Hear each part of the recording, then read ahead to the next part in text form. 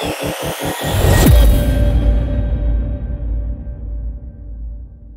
you want to create an attendance system that counts the number of days of employee attendance and adding a color system for each number of days of attendance?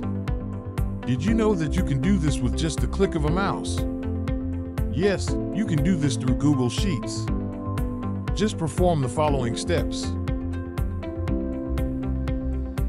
Select the cells for the time period in which you want to calculate attendance for each employee. In our example here, the period is six days. Then, go to the Insert menu, then click Checkbox. Now, select the cell in which you want to count the number of days attended, and then type the following formula. COUNTIF, range, criterion. Let's pause for a moment to take a look at this formula. The COUNTIF formula in Google Sheets or Excel is used to count the number of cells in a given range that meet a specific condition. Let me explain each part of the formula in detail. 1. COUNTIF. This function in Excel is used to count the number of cells in a specified range that meet a certain condition.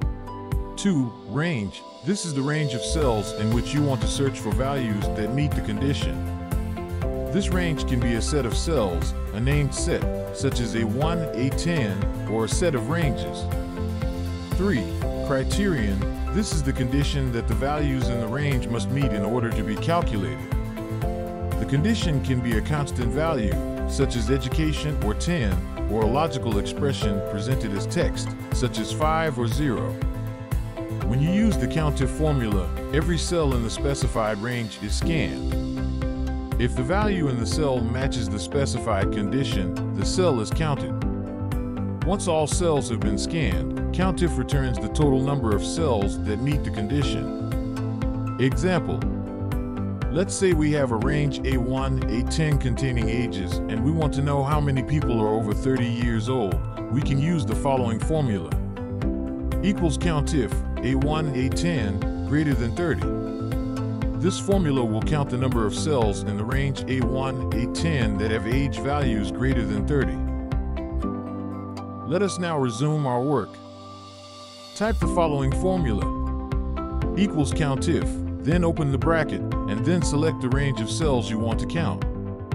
In our example, the range is from C3 to H3. Then type a comma, then set the condition to be the logical value true. Then close the bracket and press the Enter key on the keyboard. Now, you will notice that the cell value becomes zero because the range of cells C3 to H3 have the value false. Now drag the cell down to copy the formula to the rest of the cells. Do you notice now that when we select the checkbox, the total number of days attended changes? Now we want to add a color system consisting of seven colors, starting with red and ending with green, so that it is easy to identify employees who are present on all days and who have days of absence.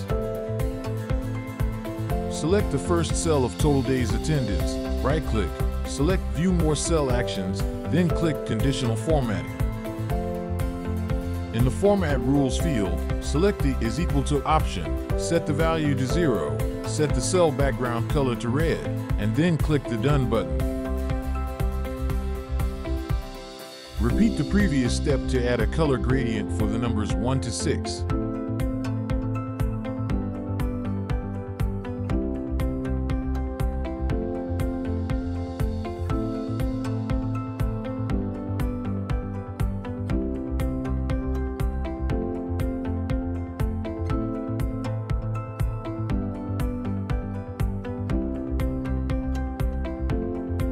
Now drag the cell down to copy the formatting to the rest of the cells. Congratulations, you have just created an attendance system that counts the number of attendance days for employees and is based on a color system to easily indicate attendance and absence days.